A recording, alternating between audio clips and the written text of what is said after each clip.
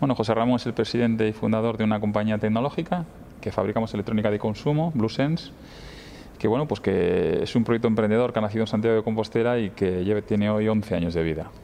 Bueno, BlueSense siempre ha tenido un marketing muy particular. Eh, ha intentado buscar siempre vincularse con la gente, con el consumidor, haciendo cosas pues, que realmente le llegan a la gente al corazón.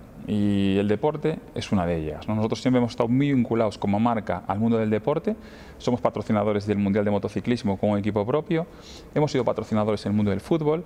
Y la verdad es que encontramos un vehículo en el mundo del baloncesto que para nosotros ha sido fundamental.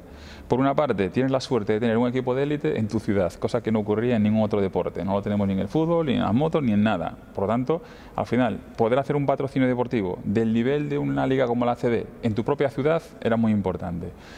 Y para nosotros fue eh, realmente mm, muy satisfactorio. Nos permitió poder estar en un club de división de honor en tu ciudad y no solo vivir el mundo del baloncesto desde el, punto, desde el punto de vista del patrocinador, sino también vivirlo desde el punto de vista del palco, ¿no? como aficionado. Entonces, bueno, pues poder mezclar todos los fines de semana que estás haciendo un marketing concreto, que a la vez a ti también te llena como espectador, pues la verdad es que ha sido tremendamente satisfactorio. ¿no? Eh, la verdad es que cuando uno analiza los equipos que están, forman parte de la Liga Andesa, ven sus presupuestos y ve el presupuesto de nuestro club, obviamente ya somos uno de los clubes más pequeños de la, de la ACB. Si además de eso le sumas de que nosotros contamos con una ciudad que solo tiene 100.000 habitantes, pues por mucha afición que tengas, la verdad es que vas a tener siempre un presupuesto limitado. Nosotros lamentablemente, claro que echamos en falta mucho más apoyo de la Administración. Somos un club que solamente se sostiene de, su, su presupuesto de socios, el presupuesto publicitario, que hoy en día en los tiempos de crisis son súper limitados, y después de la aportación de los propietarios, socios y máximos accionistas del club como son el grupo empresarial. Y claro, eso realmente es muy complicado. Año tras año tienes que tener un presupuesto mínimo de 3 millones de euros, cuando la realidad es que de la afición por mucho que la chuchemos, puedes conseguir 800.000 euros. La diferencia, nosotros contamos con un gran hándicap, que somos de los pocos clubs que no tienen ingresos de la administración pública.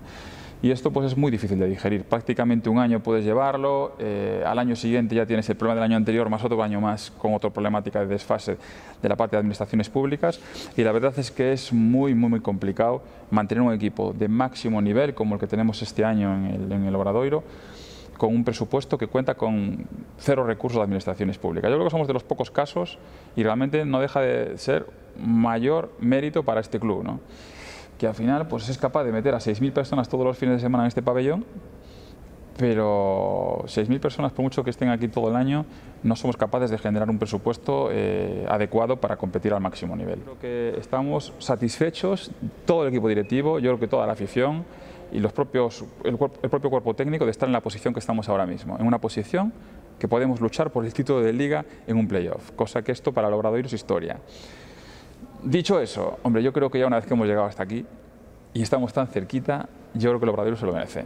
Yo creo que el equipo en estos momentos eh, estoy seguro que va a ir ese playoff y va a demostrar con esta afición que de aquí no salen vivos el Unicaja, seguro. Y si además sale vivo el Unicaja y no gana, aún quedan eh, más oportunidades para, para, poder, para poderlo conseguir. ¿no?